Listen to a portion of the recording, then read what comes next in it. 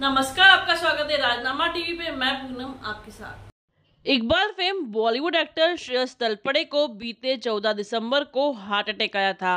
दिन भर अपनी upcoming film, welcome to the jungle की शूटिंग करने के बाद घर पहुँचे श्रेयस को यह अटैक आया था, जिसके बाद वे बेहोश हो गए।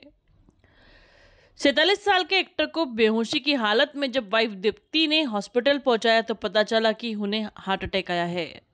इसके बाद डॉक्टर्स ने उनकी एंजियोप्लास्टी की।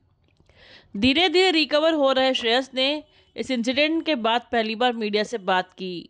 एक इंटरव्यू में श्रेयस ने कहा कि इस हार्ट अटैक के बाद उन्हें दूसरा जन्म मिला है।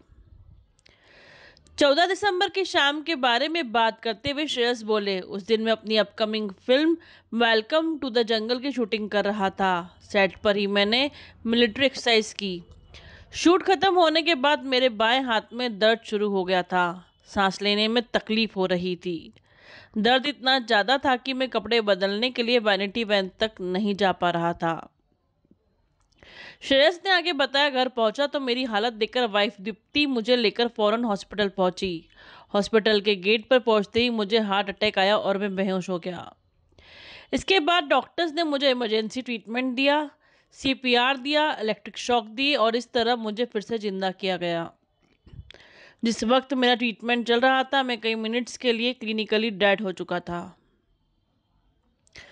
अपनी हेल्थ पर बात करते हुए श्रेयस ने कहा, मेरी फैमिली में कई लोगों को हार्ट अटैक आ चुका है, पर यह पहली बार था जब मैं हॉस्पिटल में एडमिट हुआ। हॉस्पिटल पहुँचा तो एहसास हुआ कि जान है तो जहान है। मैं 20 साल की उम्र से लगातार काम कर रहा हूँ और अब सैतालीस साल का हो चुका हूँ।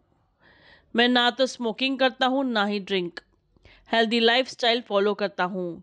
अगर ये सब करने के बाद भी मेरे साथ ये हो सकता है तो सोचिए जो लोग स्मोकिंग ड्रिंक करते हैं, उनका क्या होगा? अपनी हेल्थ को बिल्कुल हल्के में ना लें. रेगुलर डॉक्टर्स विज़िट ज़रूर करें. इसी के